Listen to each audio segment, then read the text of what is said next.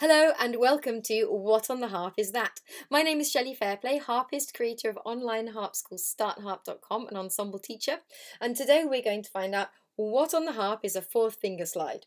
So a fourth finger slide is really useful if you have five notes in a row on your harp going upwards, ascending. So instead of turning, sometimes it can be useful to do a fourth finger slide. So what I've done there is I've put my fourth finger on C, my third finger on E, my second finger on F, and my thumb on G. And then I'm going to allow the fourth finger to kind of slide or glide like it's doing a miniature glissando between the C and the D. Play normally on the D, E, F, G. Sometimes that can be a really efficient way of moving if you're moving on to the next part of the music and it might make it easier for you. So there we are. That is what a fourth finger slide is. To find out more, visit startharp.com.